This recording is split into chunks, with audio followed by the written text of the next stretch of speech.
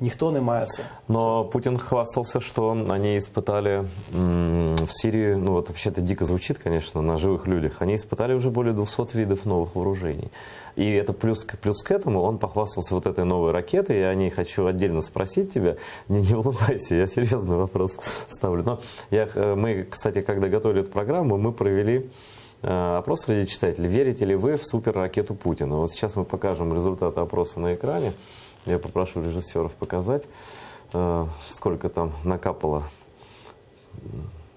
Есть у нас, да, не очень четко видно. Э, Да, проголосовало около 500 человек, и 90% не верят в это.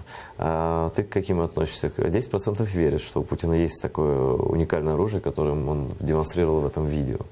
Ні, ну звичайно, це фейк. Насправді ми вже бачимо, що Путін давно вже нереалістично оцінює обстановку навколо нього. Як я казав, телевізор починає дивитися в нього. Він вірить вже, що те, що там показують, це і є правда. Хоча сам він це і інсценував.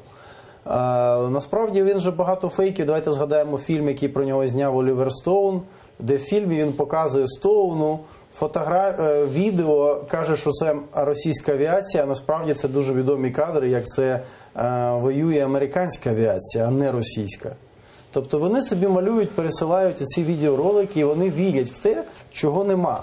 Так само це повний фейк, про який знає не просто там експерт, якийсь військовий чи журналіст, а про це знає будь-яка людина, яка знайома з фізикою елементарною. Ну расскажи, І- интересно же вот так на почему, Машинобудование. почему эта ракета и не существует, о Е, Ну, по-перше, ці проекти такого двигуна, ядерного двигуна на ракету, вони випробувались дуже давно. Е, Ще в 50-60-ті роки. Американцами. І американцями, і росіянами, і навіть на літаки був, були проекти ставити ці двигуни. І кожного разу це відхилялося з одного з однієї причини. Що як тільки ти щось таке ставиш, будь-яка техніка вона має звичку ламатися. Не буває техніки, яка не виходить з ладу. От якщо там в тебе є ракета з маленьким ядерним реактором, який працює, і щось в ній станеться на вип- на випробуваннях, і вона кудись впаде на твою територію, то ти отримаєш собі в мирний час маленький ядерний взрив, вибух. Навіщо це потрібно? Це дуже великий ризик.